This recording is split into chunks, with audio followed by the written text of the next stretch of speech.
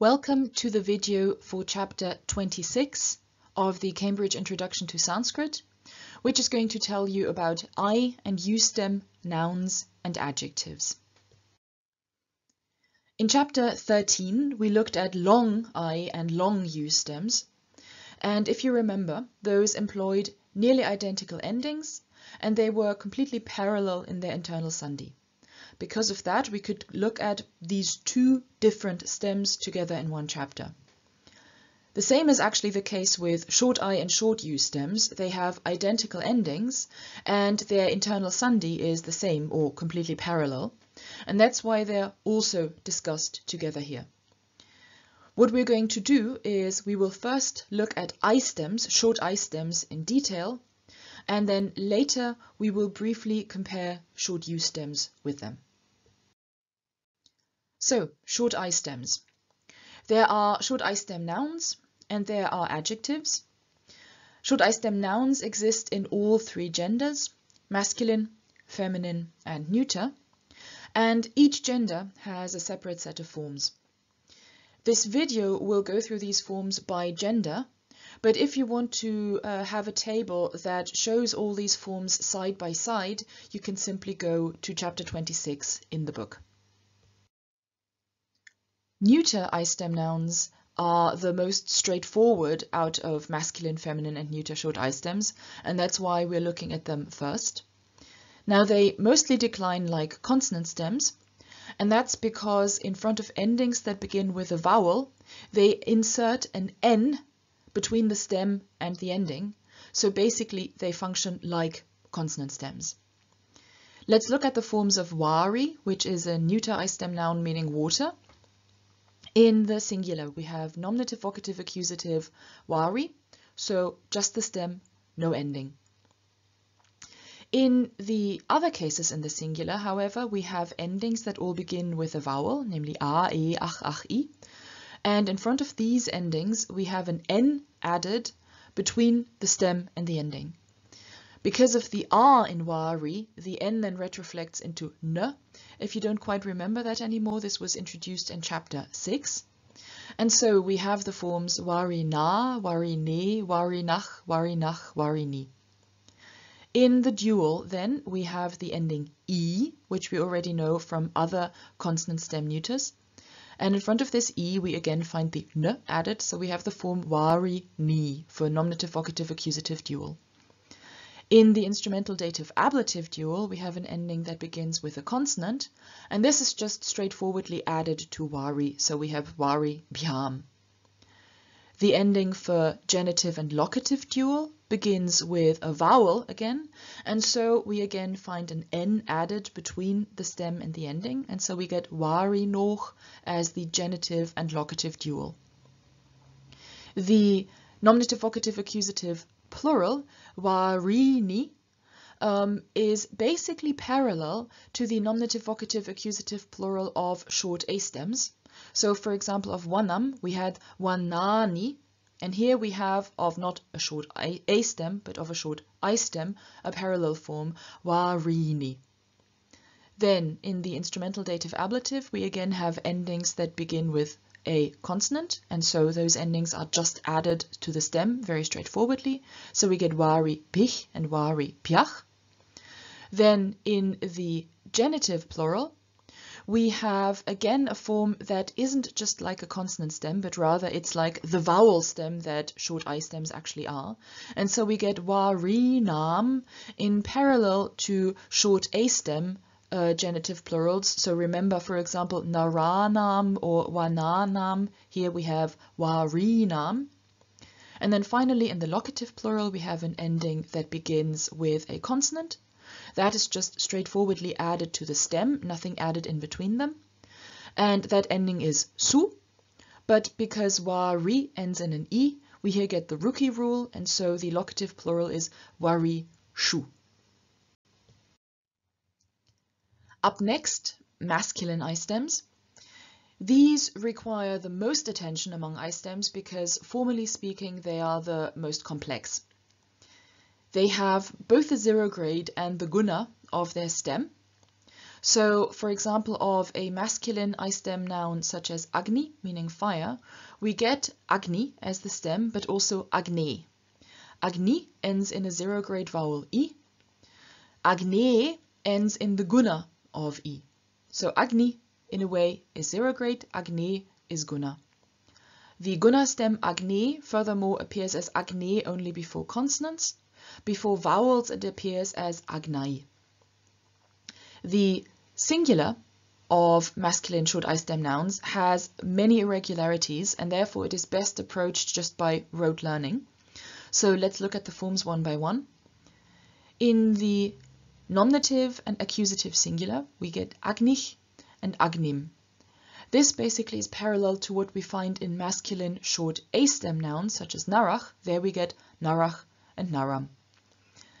The vocative singular has just the stem, but the stem in guna, so we get agne. This is loosely parallel to what we find in short A stem nouns. There we had, for example, of narach, the vocative nara, but that was just the vocative, no change in stem or anything like that. Here we have the vocative, but in guna, so agni. The instrumental singular does something that we've already seen in neuter short I stems, and that is it adds an n between the stem and the ending, and so we get agni na.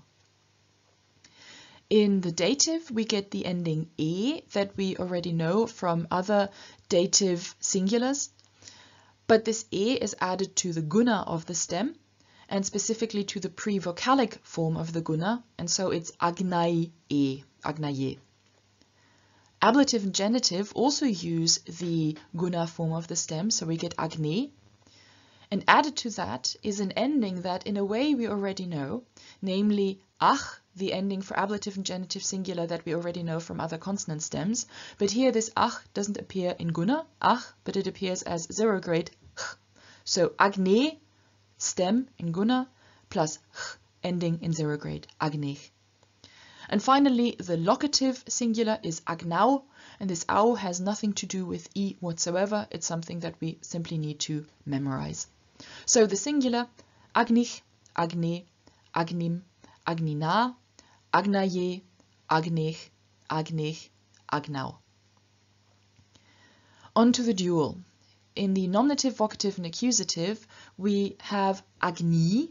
So instead of short i, we have long i, agni. Instrumental dative ablative dual is perfectly straightforward and recognizable. It's just agni plus our ending piam that we've seen many times before. In the genitive and locative, then, we have the ending och that we also already know, added straight on to the stem agni. But what's happening here is that in front of the o, which is a vowel, the i does what we've seen i do's in such a position many times before, namely it changes into its semi-vowel equivalent y, and so the genitive locative dual is agnioch. Then, in the plural, we have a nominative and vocative form agnayach, which contains the ending ach that we already know for nominative and vocative plural, but it is added to the guna of the stem and specifically, of course, to the pre-vocalic guna, which is agnai, and so nominative vocative plural is agnayach. The accusative agnin again is basically parallel to the accusative plural of masculine short A stems, where we had naran. Here we have agnin.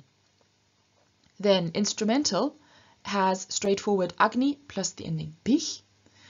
Dative and ablative has straightforward agni plus the ending biach. Then the genitive plural is agninam Again, parallel to short A stems, where we have, for example, naranam. Here we have agninam. And then the locative plural again has straightforward agni plus the ending su, which we already know from many locative plurals, but here, as before, through ruki, the su is changed into shu, and therefore we have the locative plural agnishu. Finally, feminine short I stem nouns. These are identical in their endings to their masculine counterparts, but with three exceptions. Let's look at a sample paradigm, namely that of mati, which is a feminine short I stem noun meaning mind. In the singular, we start with matich, mate, matim, which is completely parallel to agnich, agne, agnim. But then we come to the first difference, and that is in the instrumental singular we do not find an n added in between stem and ending, but we find the ending added straight onto the stem, giving us matya. This is mati plus a, and through internal sandhi we get not mati a but matya. Then, in the dative, ablative, genitive, locative singular, we come to the second difference, and that is that we can get feminine forms that are completely parallel to their masculine counterparts. So we can get mataye, matich, matich, matau. But we can also get forms that look much more similar to long I stems, so to stems that are always feminine. So we get matyai, matyach, matyach, matyam, which is basically parallel to the forms of Nadi, which would be Nadyai, Nadyach, Nadyach, Nadyam. Then, in the dual, feminines are completely parallel to their masculine counterparts, so just as we had Agni, Agnipyam, Agnioch, here we have Mati, Matipyam, Matyoch. Then in the plural, we start out again parallel to masculines. We get Matayach, just as we had Agnayach. But then in the accusative comes the third difference, and that is that the accusative plural ends not in in, but in ich. Compare this to A stems. There we had the masculine short A stems ending in an, naran, accusative plural, but feminine long A stems ended in ach, for example, senach. So an and ach. Here we have in in the masculines and ich in the feminines. The rest of the plural is completely parallel to the masculines again. So we have matibich, matibyach, matibyach, matinam, and matishu, once again with su changing into shu due to ruki. That, you will be delighted to hear, was it as far as new forms are concerned.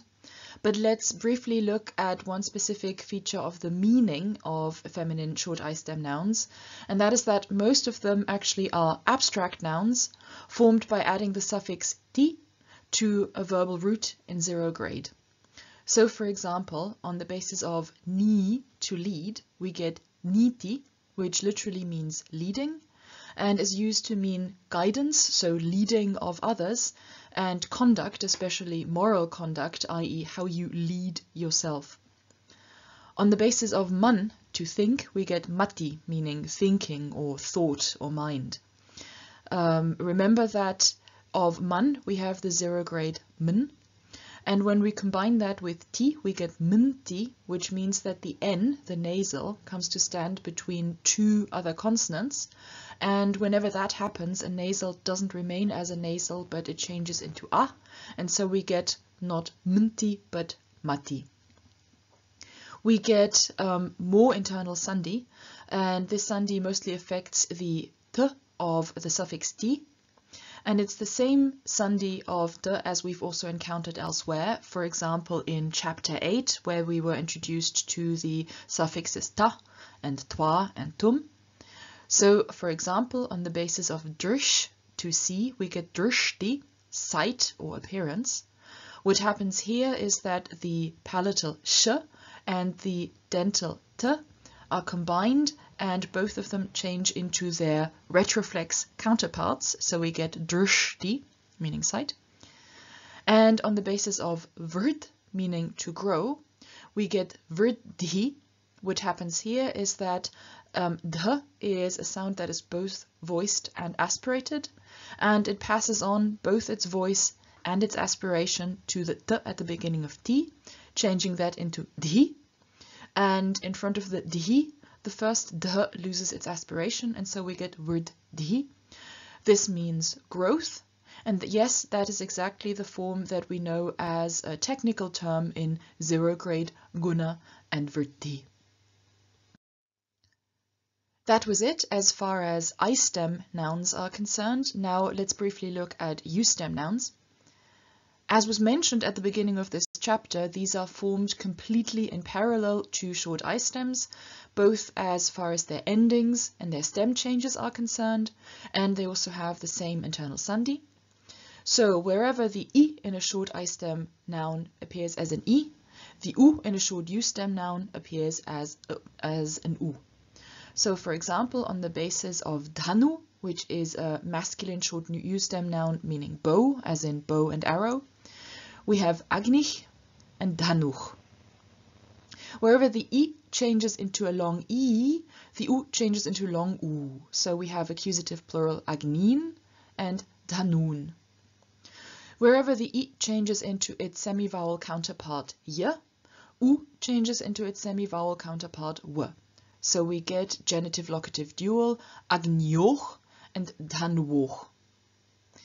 Wherever we get guna of i, namely e, we get guna of u, namely o. So for example, in the vocative singular, agne and dhano. Wherever we get the pre-vocalic form of the guna, so I, we get the pre-vocalic form of the guna ab. So for example, nominative vocative plural, agnayach and dhanawach. The locative singular masculine ending of short U stems is au, so we get agnau and dhanau. Notice that in U stems there is one particular form that has certain potential for confusion, and that is that the ablative genitive singular is dhanoch, so with the stem in guna and the ending in zero grade, dhanoch, but the genitive locative dual forms are dhanwoch with dhanu plus the ending och, dhanwoch. If you would like to see a full table of short U stem nouns, then look either in chapter 26 of the book or in the appendix. Having looked in great detail at I and U stem nouns, let's also briefly take an explicit look at I and U stem adjectives now, generally, I stem adjectives are formally identical to nouns of the same gender. That means that the forms of I stem masculine adjectives would look identical to those of I stem masculine nouns, and so on. There are two exceptions to this though. First of all, concerning neuter both short I and short U stems. Wherever neuter nouns add an N in between the stem and the ending, Neuter adjectives may do the same, or they may also take the same forms as the masculine.